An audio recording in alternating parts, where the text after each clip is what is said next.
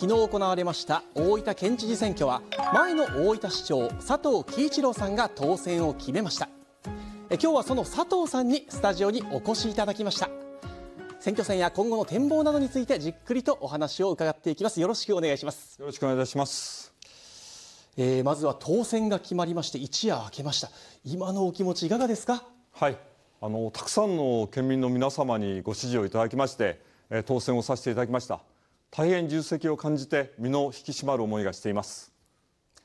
この後いろいろとお伺いしていきといきたいと思います。それではまず知事選の結果からお伝えいたします。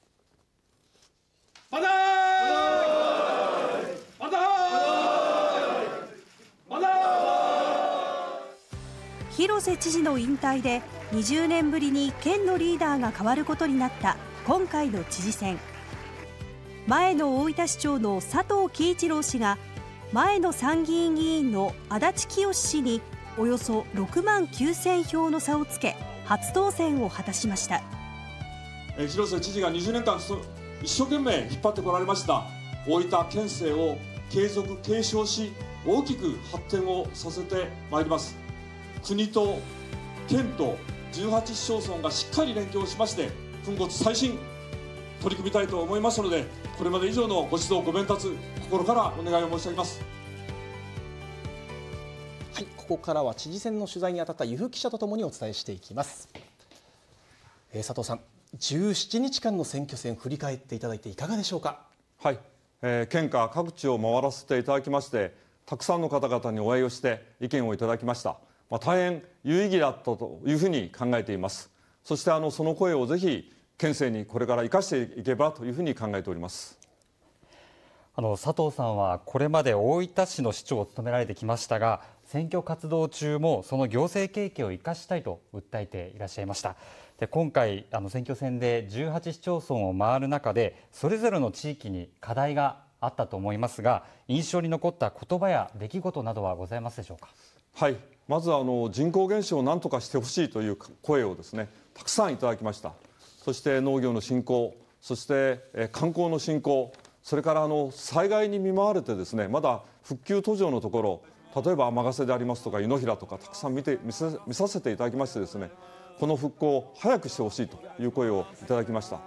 それからあの例えば中木商談道路でありますとか日田中津道路でありますとかそういうあの公共インフラに対する期待もたくさん聞かせていただいたところです。また昨夜は広瀬知事が陣営を訪れまして佐藤さんにお祝いの言葉をかけていました。佐藤さんもね、えー、大変あの急なお話で、えー、大変だったと思いますけども一生懸命頑張っていただきました。安心の暮らしそして元気な活動そして夢の多い未来そういうもののある大分県を作っていくこれをですねもう全身全霊を傾けてやっていただくと。そういうことをぜひお願い申し上げたい広瀬知事は後継者は指名しませんでしたが告示前に佐藤さんに対し県民の期待に応えてしっかりやれるのはあなただと思うなどと踏み込んだ発言をしていました。佐藤さんはあの広瀬県政の継承発展というのを訴えてこられましたけれどもまずあのこれから手をつけるといういわゆる一丁目一番地具体的には何から始めますか？はい。あの人口減少対策これはやはり喫緊の課題だと思います。そのような意味では観光をですね、えー、しっかり進行していく。そしてえ地域の農林水産業をしっかり振興していく、えそしてあの子ども子育て支援ですと医療費の女性の問題でありますとか給食費の問題でありますとか、えそういう問題につきまして、え18市町村そして国と連携しながら取り組みを進めていくということが大変重要だというふうに思っています。県民からもたくさんの期待がかかっていると思いますが、えー、知事としての任期が今月28日から始まります。改めて抱負などお聞かせください。